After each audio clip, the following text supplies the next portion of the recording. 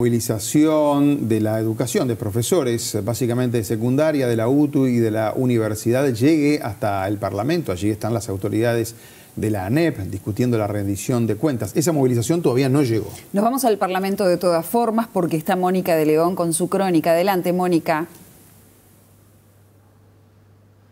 Gavileo, tal vez de las exposiciones más largas hasta este momento en lo que lleva la Comisión de Presupuesto Integrada con Hacienda de la Cámara de Representantes recibiendo incisos aquí en el Parlamento de la República para discutir el proyecto de rendición de cuentas. Desde las 2 de la tarde las autoridades de la ANEP se encuentran reunidas con los legisladores, una presentación de más de dos horas del presidente de la ANEP, Robert Silva, con más de 100 eh, exposiciones, con más de 100 folios en donde se detallaba todos los objetivos y todas las eh, propuestas de esta transformación educativa, buque insignia del gobierno del Partido Nacional, luego de lo cual se sucedieron preguntas en general y recién ahora se está empezando a discutir el articulado, artículo por artículo, luego de lo cual también habrá preguntas puntuales con respecto a cada uno de los artículos. De todas maneras, hemos ido sondeando lo que ha sucedido dentro de la comisión, la oposición ha sido muy crítica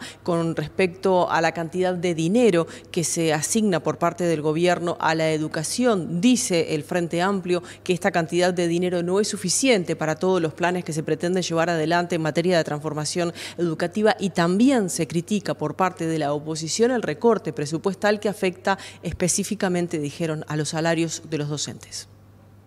El presidente de la ANEP, en, su exposición de, esta rendición de cuentas, reconoce que hay una pérdida salarial importante en los funcionarios de la ANEP, pero dice que no es recorte porque no ha afectado el funcionamiento de la ANEP.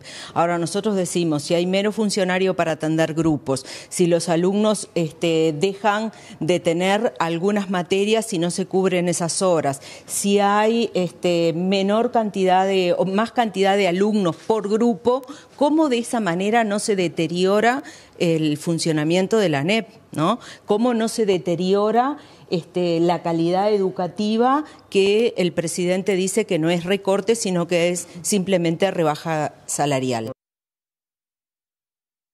Desestima las afirmaciones de la oposición y asegura que el gobierno está en el camino correcto con respecto a la educación. También se defiende el presupuesto asignado que asegura es suficiente para atender esta transformación educativa de la que se habla.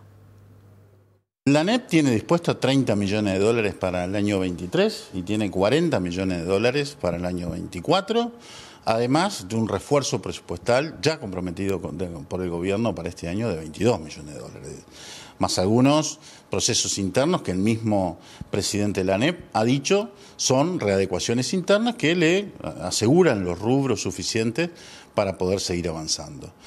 Eh, también es cierto de que eh, hay un alto porcentaje del componente presupuestal de la ANEP que es salario, que hemos vivido un par de años muy difíciles y lo hemos reconocido en todos los lugares.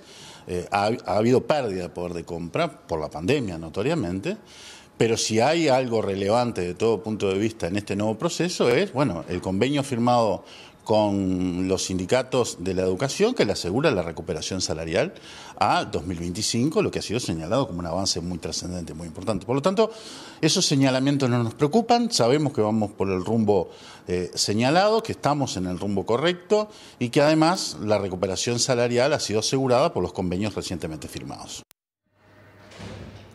mientras la reunión de las autoridades con los legisladores se desarrolla aquí en el piso menos uno del edificio anexo al Palacio Legislativo. Se espera que de un momento a otro llegue la movilización que se inició en Plaza Independencia como consecuencia de este paro de 24 horas de los docentes de la educación secundaria y también de los trabajadores de la universidad pública en reclamo precisamente por el presupuesto asignado a la educación. Se estima que en pocos minutos más esta movilización estaría llegando a las inmediaciones del Palacio Legislativo. Hay mucho tiempo por delante con respecto al ejercicio de la Comisión de Presupuesto. No se sabe todavía si coincidirá. El objetivo era, bueno, poder manifestarse y que las autoridades de la educación vieran la manifestación, pero todavía no se sabe si habrá tiempo para que esto coincida porque va atrasado el trabajo de la Comisión en materia de educación. Nosotros nos volvemos a comunicar en cualquier momento si es necesario.